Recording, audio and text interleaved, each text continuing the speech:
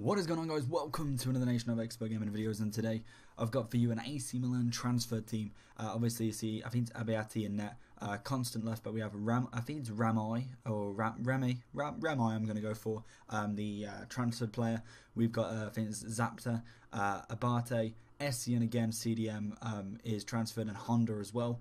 El Shaarawy, um, I think I can't pronounce it. It's like Niang or something like that. Uh, but he's transferred out now. But he's the only right mid in the team, so uh, I had to pick him. And then obviously we have Balotelli and Robinho up front. This team was actually a really, really good team.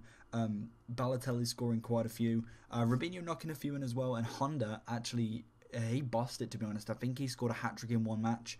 Um, he didn't score like a crap load, but to be fair, that's that's the striker's role. But he surprised me quite a lot. He has very good free kicks as well. I'm pretty sure there's a free kick somewhere in there.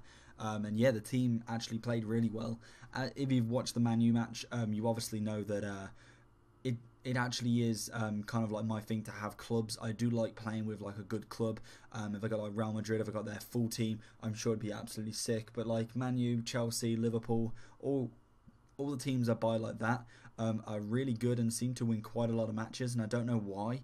Um, because when I buy like expensive teams with like mixed people, I think it might be just kind of like the the work rates of like uh, say the Man U team just aligns for some reason to be really good and they play well together um, and possibly I need to kind of think about work rates and kind of like players together um, how they do work and see if like uh, anything like that makes a difference I'm, i think I'm kind of like babbling on there, but what I mean is kind of like players that link with each other, not just getting the most expensive or the most uh, top-rated players in the in that team.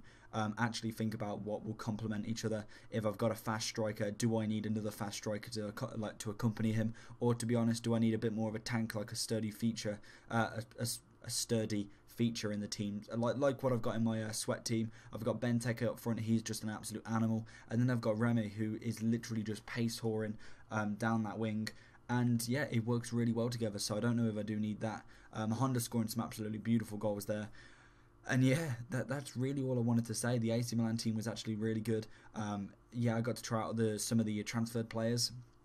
I didn't get to try out uh, Taarabt, which was unfortunate, but I will be probably doing maybe another squad with him in, possibly just a Serie A squad, or uh, find some more transferred players that I've not used, um, and possibly use them as well. So yeah, we'll have to see what goes on with that. Um, this team was actually really good. So yeah, apart from that, hopefully enjoy the video. If you did, remember to leave a like, comment on any other squads you'd like to see me make, and anything in general, um, and subscribe for more content. So I'll see you all again next time. Bye bye.